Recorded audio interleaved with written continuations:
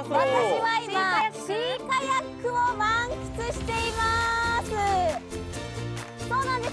ここは東園木郡川棚町にある大崎海水浴場です。実は明日と明後日の2日間こちらで長崎川棚海フェスタというイベントが開催されるんですよ。こうしたマリンスポーツだったりバーベキューなどいろんなイベントが楽しめるんです。海と日本プロジェクト in 長崎は日本財団が推進する海と日本プロジェクトの取り組みの一環としてお送りします。ではすみません。砂浜に上陸をお願いします。ここからは愛ちゃんも漕ぐんだねいやー本当に気持ちいいです。今日天気が心配だったんですけれども、はい。あの雨降ってないんです。上がったんですよ。すごくなので気持ちよく楽しむことができました。いやそうなんですでですね明日と明後日のイベントではこうして皆さんもシーカヤック楽しむことができるんです。で私のようにインストラクターの方がですね丁寧に指導して教えてくださいますので初心者の方も安心して楽しめるんですよ。堤さんどうもありがとうございました。ございます。こうして綺麗な大村湾で楽しむシーカヤック魅力は何でしょうか？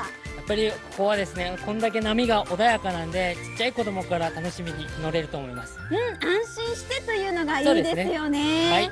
さあということでここからは明日明後日のイベントについて詳しくお伺いしていきます。こちらへお願いいたします。川棚町役場の入もみさんです。よろしくお願いします。こんにちは。よろしくお願いします。よろしくお願いします。この長崎川棚海フェスタ今回で3回目になるそうですけれども、どういう思いで始まったものなんですか、はい。えっ、とここ大崎半島はアウトドアがた楽しめる半島でして、えー特にこの海水浴場では夏は海水浴場が楽しめます。で。ここで海の素晴らしさを皆さんに知っていただくために今回シーカヤック秋でもお今でも楽しめる体験をたくさん準備して、えーえー海フェスタを開催するようにしました。はい。海の魅力は夏だけじゃありませんよねそうです。はい秋も。楽しめるんです、はい。ということで今私シーカヤック体験させていただきましたが他にどんなマリンスポーツができるんですか？はい、えー、とおバナナボートはいとか、ホバーボートおがあ明日はあ明日明後日え体験できるようになってます。あのホバーー、ボードとかってあの、はい水圧で空中に浮かぶはいそうですね。ね人気のアトラクションというかスポーツですね、えっ、とまあシュッとシュッと。そうぜひ皆さんにもね、はい明日明後日体験していただきたいと思います、はいはいさあそして日曜日になりますと手ぶらで OK なはい。海でこの釣りも楽しみるんですよね。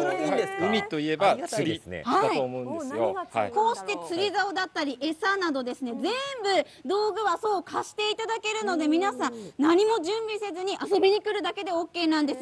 ではもうこのようにですね今日は虫釣りなんですけれどもスタンバイ完了しております。私早速ちょっとここから投げてえ体験してみたいと思います。すみません、はい。入森さんマイクをお願いいたします、のあちなみにこちらではどんな魚が釣れますか？あえっ、とキスはい。とか、タイの子供おがあー今は取れます。釣れます。はい。じゃあうまくいけば私も釣り上げることができるかもしれませんね。マンメイドとして頑大丈夫ですか、はい。じゃあちょっと頑張ってみたいと思います。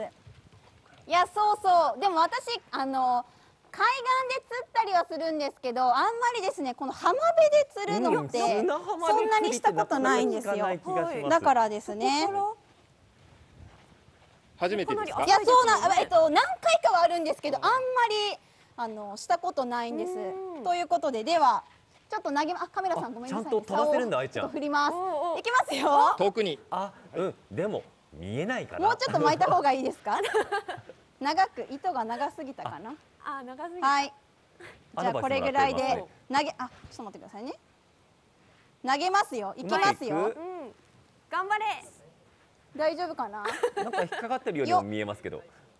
はい。いやってみます。やってみてやってみちょってと待ってもたついてますかなり。見せて。あはい。そんなもんです。いきますよ。うん。せーの。どう？全然投げられなかった。ちょっともう一回。海と日本